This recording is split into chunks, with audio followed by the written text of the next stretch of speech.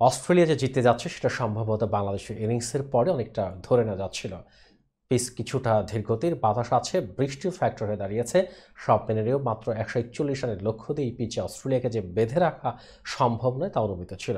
বাংলাদেশ খুব একটা ভালো বোলিংও করতে পারেনি, এর মধ্যে বৃষ্টি এসে বাংলাদেশের হারটা আগে ভাগেই নিশ্চিত করে দিল। বেশ কয়েকবার অস্ট্রেলিয়ার ইনিংসে বাগড়া বাঁধানো, বৃষ্টি অবশেষে বারোতম ওভারে দ্বিতীয় বলের পর এমনভাবে এলো যে ম্যাচ আর হতেই পারল না। কিন্তু ওই এগারো দশমিক দুই ওভারে অস্ট্রেলিয়া একশো রান তুলে ফেলে, তাদের আর চিন্তার কিছু ছিল না।